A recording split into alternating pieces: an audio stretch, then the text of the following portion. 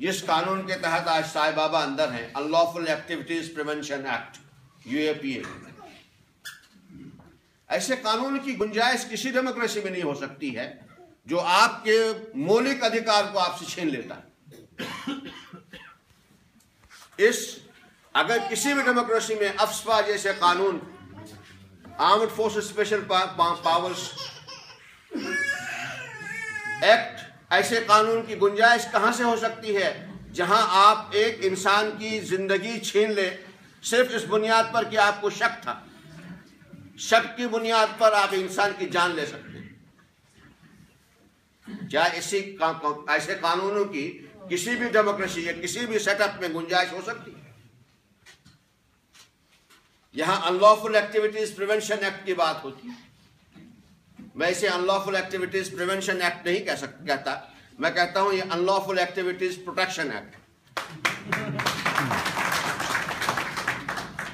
ये कानून इसलिए बनाया गया है कि सरकारी कॉरिडोर्स में बैठे हुए लोग, उनकी जो इलीगल एक्टिविटीज़ हैं, उनकी जो अनलॉफुल एक्टिविटीज़ हैं, उनकी जो एक्टिविटीज़ हैं जो लोगों के खिलाफ हैं, उनको इस मुल्क को प्लंडर और लूट की जो एक्टिविटीज़ हैं उसके खिलाफ जो लोग आवाज़ उठाएँ, या उसके खिलाफ जो लोग पोटेंशियल वो पोटेंशियल हैं, जो इसके खिलाफ आवाज़ उठा सकते हो, उनको गिरफ़्तार करो और अनलॉफुल एक्टिविटीज़ को प्रोटेक्ट करो। ये कानून इसलिए बना इसलिए ये कानून अनलॉफुल एक्टिविटीज़ प्रिवेंशन नहीं प्रोटेक्शन एक्ट ऐसे कानून और आगे चले।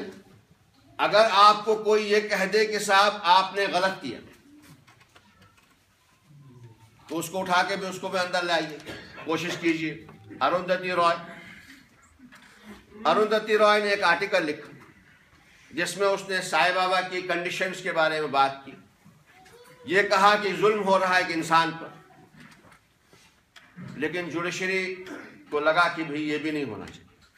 कहीं से कुछ मुनमा कुछ कोई, कान में कुछ गुन, कुछ कुछ कुछ हो रहा है, उसको भी लपेटो। कंटेम्प्ट नोटिस आ गया। सुप्रीम कोर्ट में जब अभी इस, अभी फ्राइडे को सुप्रीम कोर्ट में केस आया था अपील दायर की थी। सुप्रीम कोर्ट ने अभी स्टे नहीं दिया। रद्द नहीं किया, लेकिन स्टे नहीं दिया। एक बहुत, जो खुला हुआ केस था फ्रीडम ऑफ़ एक्सप्रेशन की बात करते हैं।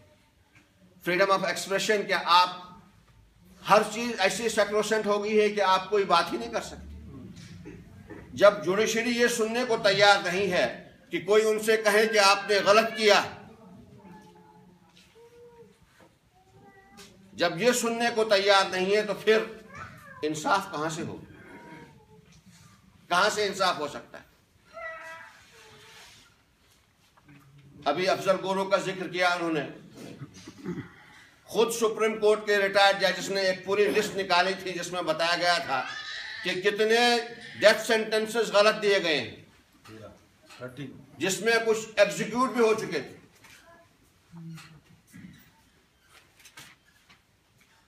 इस मुल्क का कानून खुद कहता है कि अगर आप किसी को फांसी की सजा दें तो आपका जो केस होना चाहिए, वो जो इन्वेस्टिगेशन है, वो वाटर टाइट होना चाहिए। उसमें किसी शक व शुबा की गुंजाइश नहीं। One has to prove the guilt of a person beyond the reasonable doubt किसी शक व शुबा की गुंजाइश न हो। अफजल गुरु के केस में खुद सुप्रीम कोर्ट ने कहा कि there is no direct evidence against supreme court अपने ही जजमेंट में कह रही there is no direct evidence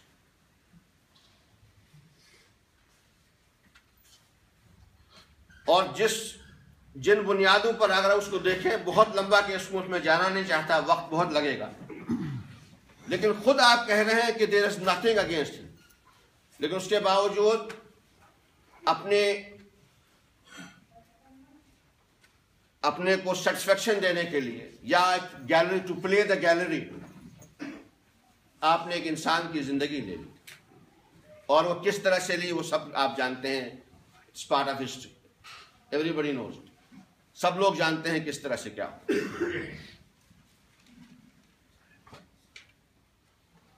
दोस्तों, जिधर जाएँ, जिधर नज़र उठाएँ, जुल्म सितम है।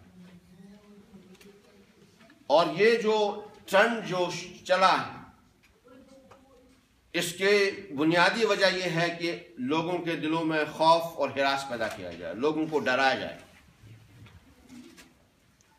ताकि जिस तरह से लूट, लूटना चाहे मुल्क को, जिस तरह से लूटना चाहे, दबाना चाहे जनता को, जिस तरह से जुल्म सितम ढाना चाहे, ढा सके, कोई आवाज़ ना उठाए। ये वह वक्त है जब हम सबको आगे आने की ज़रूरत है। हम सबको कंधे से कंधा मिलाकर चलने की ज़रूरत है। और सच को सच और झूठ को झूठ कहने की ज़रूरत है। जहाँ डर से बाहर आने की ज़रूरत है। और जो जिस तरह से फांसीवाद की तरफ़ बढ़ता जा रहे हैं। अब वो हैदराबाद यूनिवर्सिटी का वाक्य। इतने दिनों से